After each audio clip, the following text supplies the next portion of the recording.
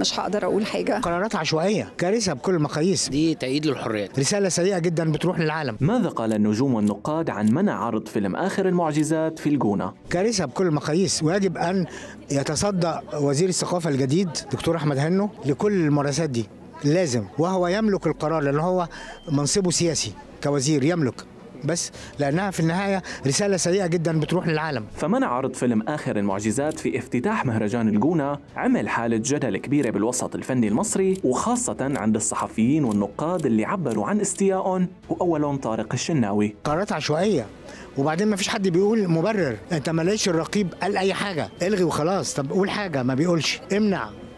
ما بتقولش. إيه ده؟ أنا صراحة شايف اللي محتاجين نراجع موضوع الرقابة ده شوية. فيلم بيتعرض في مهرجان فيلم بيتعرض في مهرجانات بره. أنا مش عارف فيلم بيتكلم عن إيه الصراحة بس أنا شفت الخبر النهارده. والخبر لما شفته الصراحة ضايقني. ليه نمنع فيلم؟ المفروض بيبقى فيلم كويس. والسينما القصيرة والسينما بتاعت المهرجانات دايما بت spotlight على حاجات نقدر نغير فيها من من المجتمع ونقدر نغير فيها من الواقع. فاللي انت بتمنع فيلم دي دي تأييد للحريات.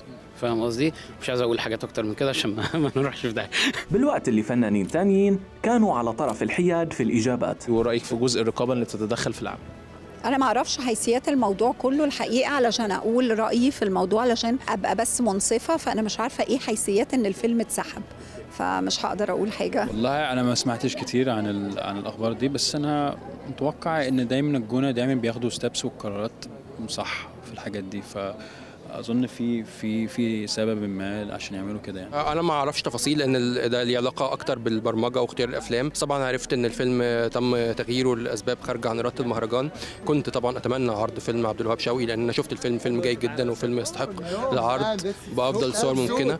آه، ولكن أنا متأكد إن الفيلم هيعرض. يعني لو ما عرضش النهارده هيعرض قريبا.